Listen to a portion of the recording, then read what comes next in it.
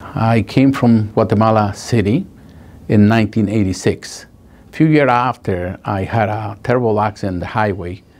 A lady cut me off on black ice and I lost control, completely control. I tried to do whatever it told me. I remember these moments seem like an eternity. Everything is, they say, they, you've seen the movie where everything moves in slow motion, and that was a reality for me. All my life went through me, and instead of controlling the car, it got crazier. So I lost it, and the car went underneath a moving tractor trailer. So I was dragged by a moving tractor trailer for about four kilometers.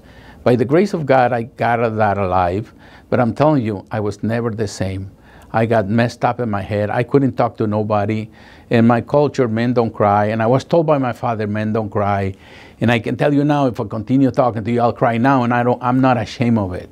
So if you're suffering similar circumstances, you have somebody can re relate to you and help you any way I can. Because I lost my mind, and out of that pain, I had to change my, my way of life. I, I to change careers, the insurance company. They offered me $8,000 for my claim, and I got 20, so I figured that's a good settlement.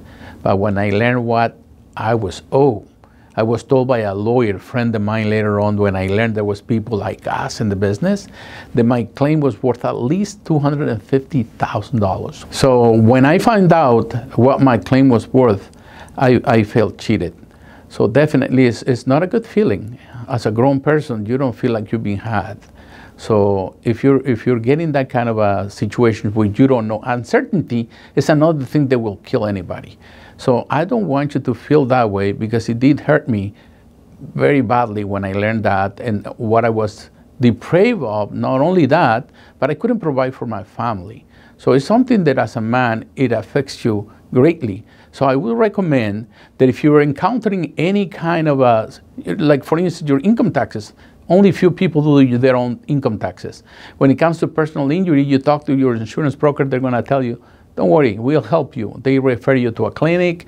They try to keep it friendly. They even train not to let you open up a claim or find somebody like us because they want to pay you what they want to pay you. Don't do that.